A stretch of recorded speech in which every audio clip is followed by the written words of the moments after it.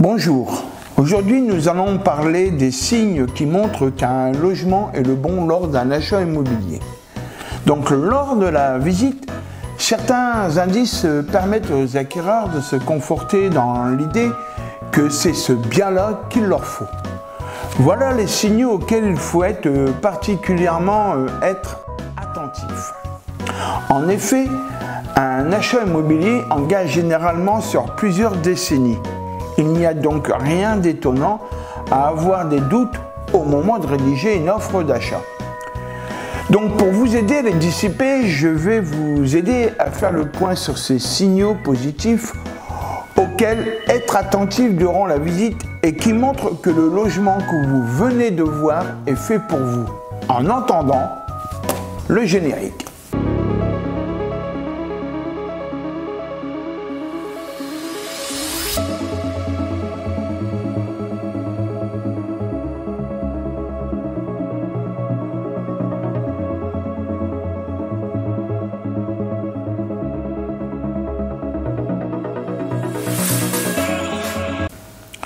Premier signe, le bien répond à presque tous les critères. Les primo-accidents qui souhaitent réaliser leur premier achat sont souvent en quête du logement parfait.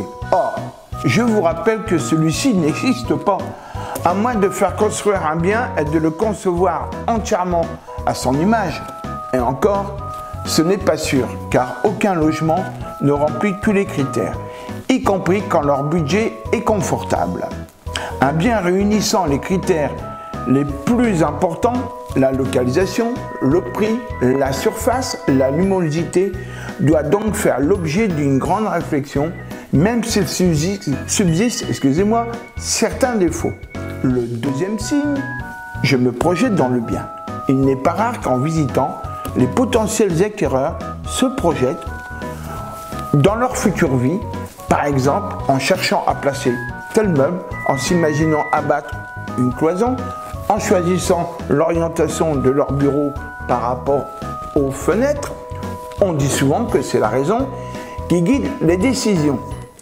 En matière d'immobilier, ce sont les émotions qui les déclenchent. Troisième signe. Je demande l'avis de ma famille. Bah oui, les primos accédants pour qui l'achat d'un bien est un moment forcément important sont nombreux à vouloir chercher des éléments de réassurance auprès de leurs proches, famille, amis. C'est un saut dans vide pour eux. Aussi, lorsqu'une première visite se déroule bien et que les acquéreurs sont emballés, pour ma part, je leur propose toujours de réaliser une seconde contre-visite avec leur famille, même si ce n'est pas elle qui décide. Le quatrième signe, je relativise les points faibles. C'est-à-dire que l'acquéreur, lorsque la magie opère dans un logement, les acquéreurs ont tendance à minimiser les points faibles pour uniquement se concentrer sur les points forts. L'absence d'un garage peut, quant à elle, être compensée par la grande superficie d'un salon. J'ai déjà vu ça. Ou l'a vu, encore mieux. En résumé, un acquéreur qui s'aperçoit qu'il est capable de relativiser les points faibles logement en dit long sur son envie d'aller plus loin. Le cinquième signe, je prends des photos ou des vidéos. Donc, avoir pour réflexe de prendre des photos ou de réaliser des clips vidéo des différentes pièces d'un bien lors d'une visite, c'est d'emblée se laisser l'opportunité de les visionner à tête reposée. Et c'est pour cela également que je donne toujours le lien de ma visite virtuelle 360 degrés et des photos.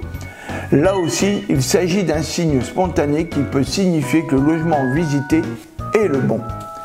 Certains acheteurs passent des appels en visio avec leurs proches pour leur montrer le bien en live. Oui, pourquoi pas? Sixième signe, je pose plein de questions aux vendeurs. Un acquéreur terminant la visite d'un bien en posant une multitude de questions à l'agent immobilier ou au propriétaire vendeur montre son intérêt pour le logement. Évitez de poser celle-ci. Avez-vous d'autres visites de prévues? Est-ce qu'il y a déjà des acquéreurs positionnés sur son bien? Car vous donnez à votre interlocuteur de vous mettre la pression. Mais celle-ci, comment ça se passe si nous voulons faire une offre? En tant qu'acquéreur, n'hésitez pas à poser des questions sur l'environnement du bien, notamment sur le voisinage, car poser ce type de questions à l'issue d'une visite est donc un signe d'intérêt à ne pas négliger côté acquéreur. Septième signe, ma visite s'éternise. Ça passe. Une visite qui dure longtemps est également un signe auquel les futurs acquéreurs doivent être attentifs. S'ils s'attardent sur les détails de chaque pièce, s'ils veulent revoir les pièces qu'ils ont déjà vues, s'ils s'assoient sur le canapé du salon, s'ils prennent le temps de faire le tour du jardin, s'ils contemplent plusieurs fois la vue d'un balcon, bref, s'ils font durer le plaisir, c'est que le logement en question leur a tapé dans l'œil.